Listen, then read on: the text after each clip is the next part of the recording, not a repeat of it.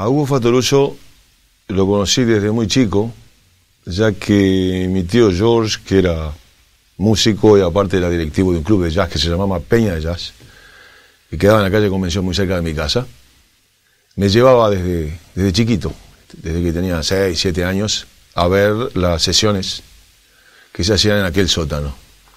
Y recuerdo haber visto tocar a, Hugo y a su hermano Osvaldo, ya con, con la pinta Beatle, con cerquillo, con la pilcha.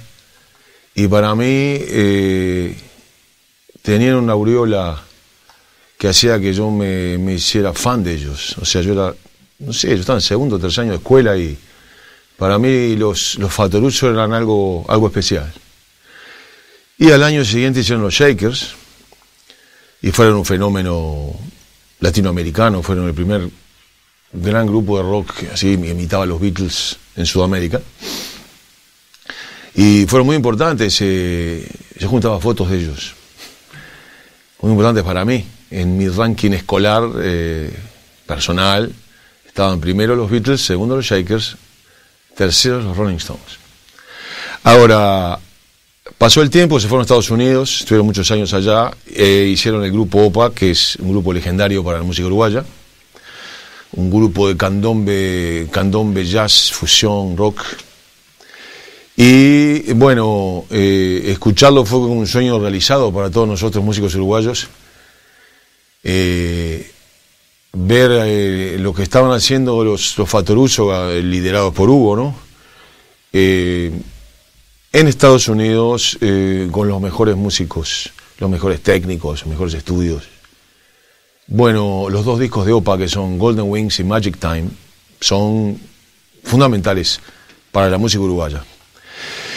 Y yo estaba en Europa, estaba viendo una época muy dura, haciendo mis primeros discos, y recibí un par de postales de Hugo que fueron, digamos, en aquel momento maravillosas para mí. Diciendo que había escuchado mis discos y que, bueno, llenándolos de elogios. Y para mí, bueno, fue como, bueno, recibir eh, el visto bueno de semejante maestro me acuerdo que me lo puse, me puse esas postales en, en mi cuaderno de canciones con el título de Jarabe para la tos. Estaban pegadas. Entonces cuando se me, me caía el ánimo, miraba, las leía. Vi por primera vez a Hugo ya en la fase adulta, ya que, como dije, de chico siempre había sido seguidor y fan, pero bueno, eh, mano a mano con él fue cuando vino con Opa hacer los legendarios conciertos del Cine Plaza en el año 81. Yo llegué de casualidad, hacía cuatro años que estaba en Holanda, vine a ver a mi madre y, conocí a Hugo. Y conocí, eh, bueno, a Osvaldo, a, a Ringo Tillman, a Rada y a Mateo, ya los conocía personalmente. Pero bueno, él tuvo la generosidad que se vuelve a repetir en este concierto de invitarme a participar en, dos canciones en aquellos tremendos conciertos de Cine Plaza. Y para mí, que tenía 27 años, que era de la generación posterior a la de ellos, fue como que me dijeran, che, pibe, me abrían la puerta y me dijeron, puedes entrar. Es muy complicado eh, transmitir qué significa estar con Hugo en el escenario, pero si hacemos la, la comparación futbolera, como siempre, siempre terminamos comparando con, con el fútbol. Es lo que puede sentir cualquier jugador que esté junto a Maradona o a Messi en un equipo. Ante todo, eh, la solvencia, la fuerza que le inspira a toda la banda, pero por otra parte, la constante sorpresa de eh, lo que pueda llegar a ser eh, con su teclado. Hugo es un genio, no es un talento. Un talento es alguien que despierta una enorme admiración y que hace cosas que los demás no pueden hacer. Un genio es alguien que hace cosas que los demás no pueden explicar. Algo parecido dijo Schopenhauer hace un par de, un par de siglos, pero bueno, eh, anda por ahí.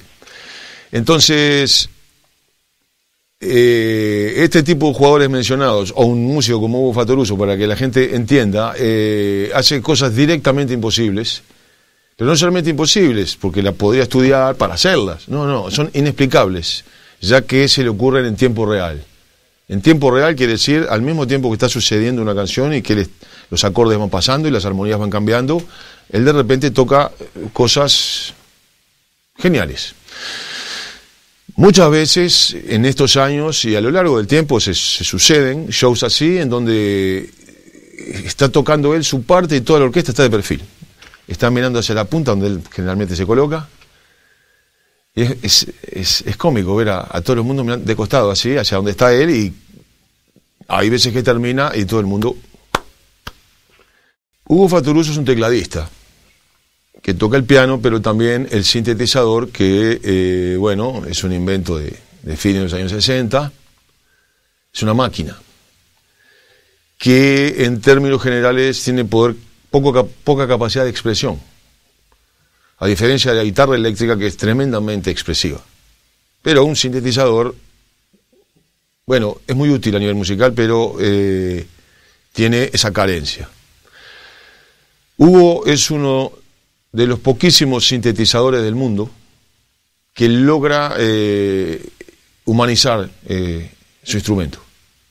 Para mí, y esto puede parecer exagerado, puede ser de camisetero, pero es el número uno, por lejos, por leguas de distancia, del mundo, tocando el sintetizador. Como pianista es excelente. Ahora, hay muchos pianistas excelentes en distintos lugares, el stop. Ahora, tocando el sintetizador eh, es eh, incomprensible.